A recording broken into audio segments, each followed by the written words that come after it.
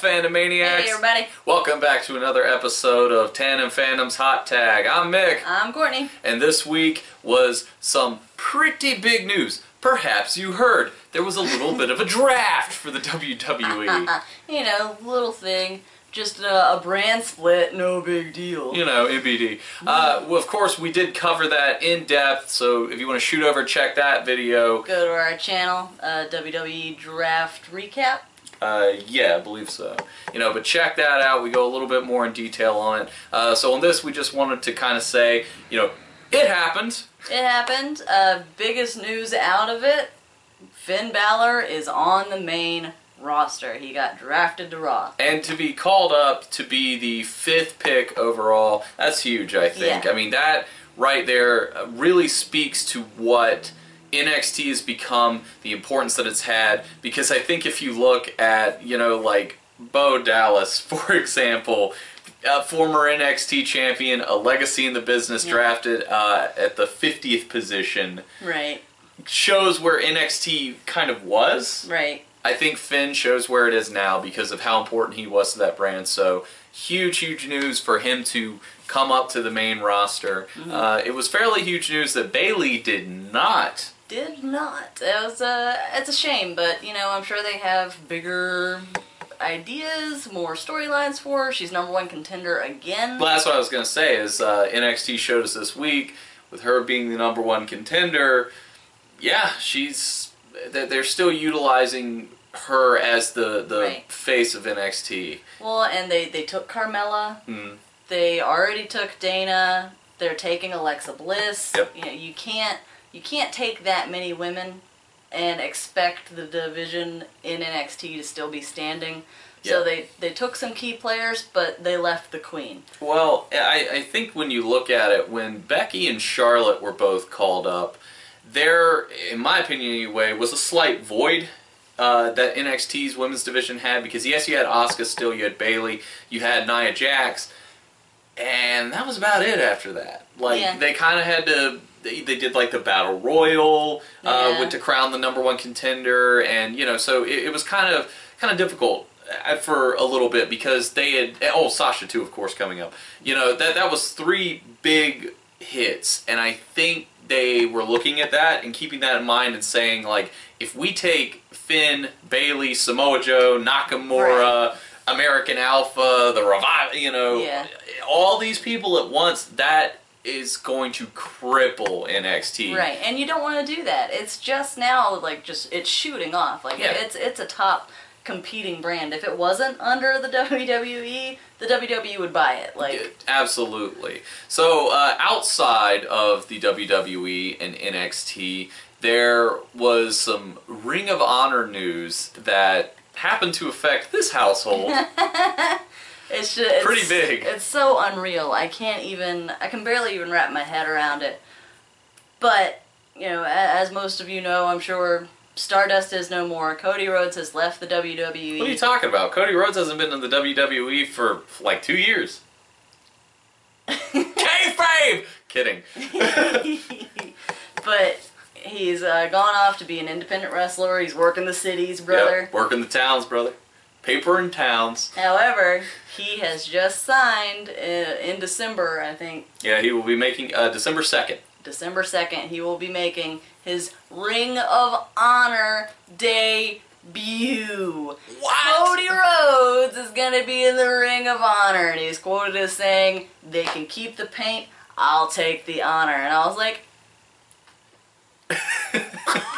it's it's incredible. Which uh, when this news came out, it inspired me to come up with something new uh, that we're going to kind of do on Hot Tag periodically whenever large or big news breaks, and that will be bold predictions. Ooh. And for my first, and we're looking into the crystal ball. and for my bold prediction, right now, I predict that Cody Rhodes will be the man to defeat Jay Lethal to become Ring of Honor World Champion. Now, you might say that's not a very bold prediction and a very realistic possibility that, that could happen.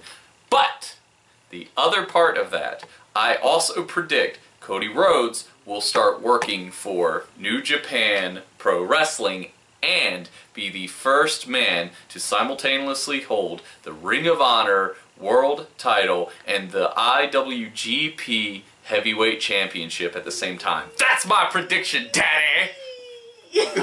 so that is my bold prediction for this uh, pretty big breaking news Yes, I'm for Cody. completely and utterly down with that prediction. I want to see Cody Rhodes with Kenny Omega. I want to see Cody Rhodes in the Bullet Club. I want to see. That's the other thing too. I do believe that if Cody does in fact go to New Japan, and even if he doesn't, because Bullet Club is an ROH, I do believe that we may see him join the Bullet Club. I want a the Prince Bullet Club shirt. he's Do he's- it. Yeah, he's One hour tees, pro wrestling tees. Do it. he's such a good heel, and the reason why I make that prediction because if you look at Ring of Honor, if you look at New Japan, they approach wrestling from a very sport-based um, view. Right. You know, they treat it very much like a sport. You know, Japan especially. Cody Rhodes has a legacy of greatness behind him with his father, his older brother also being in the business for so long. So you you couple the name Rhodes and the history that that has in the res- wrestling industry. He can work. He's an excellent worker. He's a 10-year veteran. Just look at Stardust. That's all he did. hmm He has a great look because he's a very good looking man. Uh, he Very dashing, if you would, if He- you will. Yeah, he he can talk. He can kind of work any style that you need him to. But more importantly, and this is why I believe not necessarily uh, Japan would take advantage of this, but Ring of Honor would definitely take advantage of this. The fact that he is going to be on season five of Arrow. That's mainstream appeal right there. Even if he is there for two seconds on the show, gets his ass kicked, Ring of Honor can say, Our world champion was on network television. And not to mention, it's one of the highest rated shows the CW has. Right, because he's done it before. He was on Warehouse 13, but that note has nowhere near the amount of clout as Arrow. Yeah, so I think when you look at that, you look at the history between he and Stephen Amell, there's just that that's kind of the evidence to support my bold prediction. I'm not just coming out coming out here and being like, I'm gonna make a bold prediction that Mojo Rawley will beat John Cena for the WWE Championship tomorrow. Like So that's, hype. like that's that's that's ridiculous. That's not a bold prediction. That's a stupid prediction. That, that, yeah. Yeah. so speaking of New Japan, uh, That's a, a shucky ducky quack pot theory. I like it. I like it. Get book on the phone. yeah. So uh, speaking of New Japan, the G1 has started, going pretty well so far. Yeah. unfortunately, Kenny did not win his opening match. I'm very upset about that. But neither did Tanahashi. So ah, I am not. I'm not sad alone. She is also sad now. He's coming off an injury. He has ring rust. He's just. but you know, uh, it's pretty good. I'm interested to see who who's gonna kind of win. Um, you know, I, I feel at this point it's really open. yeah. Uh, and uh, Sanada working with Okada was awesome. I really like uh, Sanada's look and, like and style and mask. feel. Uh, we also got to see the second round of the Cruiserweight Classic Yes. this week. Still exciting, fun, fun stuff. We had another luchador, so I was Yes, happy with that. Lince Dorado. Lindsay Dorado with his teeth. I love it. but more about that on our Cruiserweight Classic series. That's right. Jump over to that video. We break everything down in detail over there. We have uh, two more weeks of the first round before we move on to the second round to get more eliminations. So yeah. trucking, trucking right along. That's true, and this was also another really strong week. Uh, not quite as many names, or at least like hot names in terms Right. of like Cedric Alexander and Ibushi, um, but it, it was still really good. I, I, I I enjoyed it. I think it was good. Uh, TNA, there was, uh, I suppose, a slight bit of history made as Bobby Lashley defeated Eddie Edwards to become the TNA World Champion and the X Division Champion. How do you feel about this? Well, he's big enough to hold two belts, I guess. He is. I don't know. I feel like it's weird because the the X division's kind of like their cruiserweights. I was gonna say when you know DJZ is the number one contender for that belt. right. In what world of possibility. Does DJZ defeat Bobby Lashley? Right. And that's kind of my issue with it. Like Eddie Edwards, okay, maybe. Yeah. Yeah, I don't know. I like it because Bobby is a monster. He's a destroyer. Right. So I think that's cool to build him up, and he's a legit. You know, he he does MMA. You know, so he's a, a badass. So in that regard, it works. I don't know. It just looking at the landscape of their X division, I'm just like, oh. Yeah, it's like, what's next? Is he gonna take the knockout title too? Is he? God, I hope so. That'd be Is amazing. he gonna take the Hardy name too? Like, what? What else is he gonna take? Bobby Lashley owns it. He has deleted. But just take some white chalk and. Yeah, just no. What the no no even better because he wears the headband now. So you have a black headband, but have like one white spot on it. Okay. Yeah. ah, broken Bobby Lashley. Bobby Lashley. Brother Nero! I've got an MMA contest later.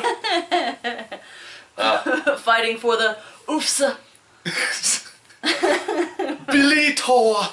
Bellator. So, you know, another development that we're seeing more with TNA that you, I mean, I'm excited about this as well, but Bram and Rosemary, you know, they, they started the Bound for Glory series, and, you know, Bram saying, like, his goal is to win the TNA World title, and, Yeah.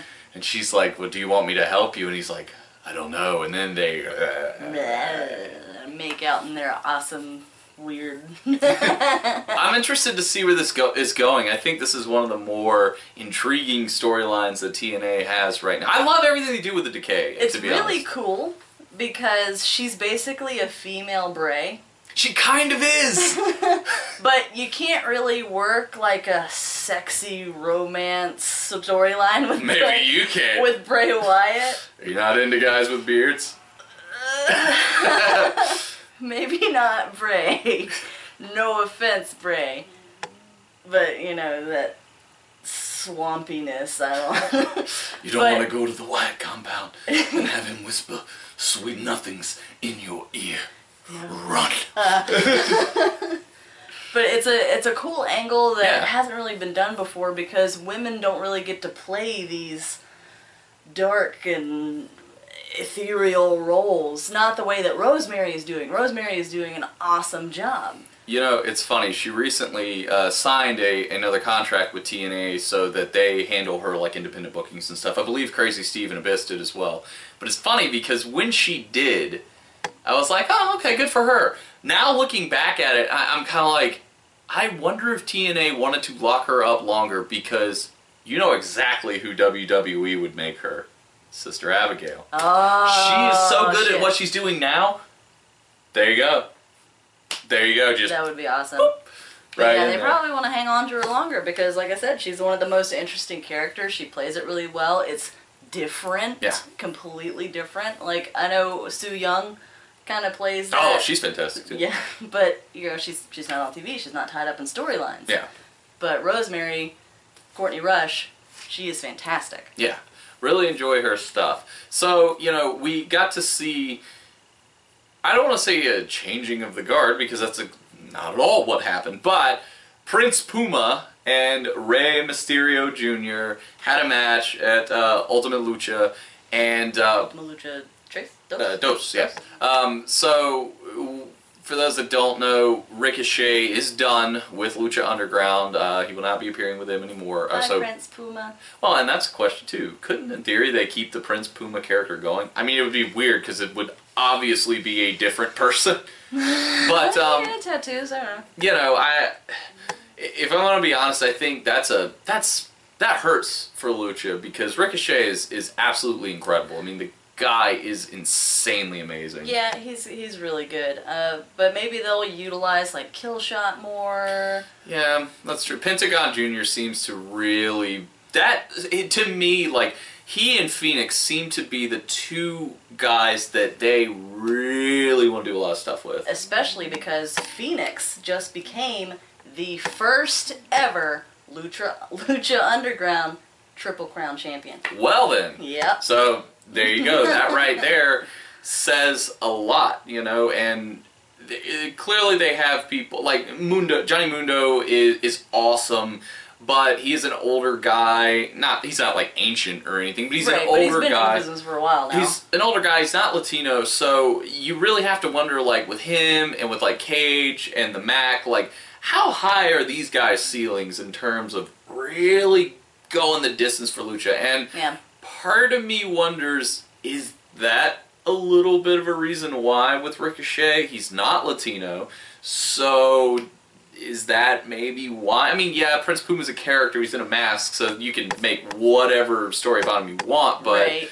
yeah, part of me wonders, like, is that why? Is it just he was like, no, I want to do different things. I want to work in Japan full time, which is one of the things he is doing. Maybe he wants to travel more with Tessa. Yeah, and he hasn't mentioned that like his game plan. You know, he does intend uh, at one point to end up in WWE because it's the biggest platform for you to go to. So, uh, and Tessa, his Tessa, his wife, girlfriend, girlfriend, I believe. girlfriend has done work with NXT. Yeah. She is a legacy with the company, Tessa Blanchard. Uh, he's roommates with Apollo Crews. Yeah, so, yeah, they're best buddies. Yeah, um, so I think that's that's really what it comes down to. Uh, although I will say, I, I brought it up because I want to specifically mention, man, Rey Mysterio looked great. Like he looked fantastic in that match. I've not seen him work like that in years. I don't want to be like it was like 1996 Rey Mysterio. Wait a minute, uh, more like 2005 Rey Mysterio, but still, still good. really good. Um, so yeah, I think that uh, pretty much wraps us up in terms of uh, all the big news. yeah, this that's all week. the news for this week. Uh, but before we go, before we, uh, you know, let us know what you think in the comments below and all that good stuff that we always say. Uh, there's one thing that I wanted to do. Uh, Spreading a little love out there, little, the power of positivity. what the world needs now is love, sweet love. and more wrestling, brother. Um, but uh, my sister-in-law, her sister, uh, Kelly West, had a really tough week this week. It was like this week was the shits. It was Or- the drizzling shit. It was indeed. It was the Eva Marie of weeks. so that being said, uh, Kelly, we love you. We love all the support that you give us, and we ask you, wonderful uh, fandomaniacs out there, send some love and positive vibes to our sister Kelly. We love you, Kelly. Ah. Mwah. That being said, let us know what you guys think in the comments below. Make sure to like, subscribe, and share the video. Follow us on Facebook, Instagram, and Twitter for more sweet dance moves. Yeah, I don't know why. I was just like, I've got like a yeah, like an Al boom, punch dancing. punch dancing. Got like an Alex Ray thing going on here. Uh, okay, well as we always say, Fandy Maniacs, if you're gonna be a fan, Bring a friend.